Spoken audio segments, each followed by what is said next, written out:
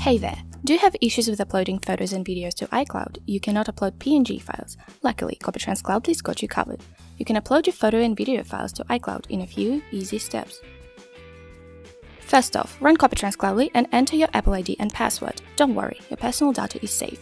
If you have two-factor authentication enabled, please enter the verification code you get on your device.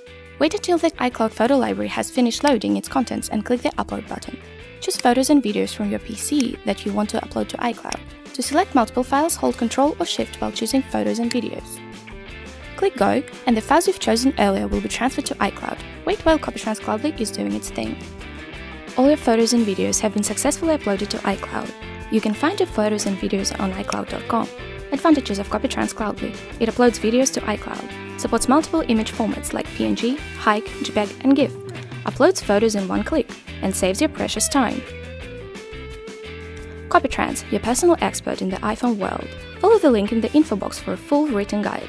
Like this video if you'd like to see more from us.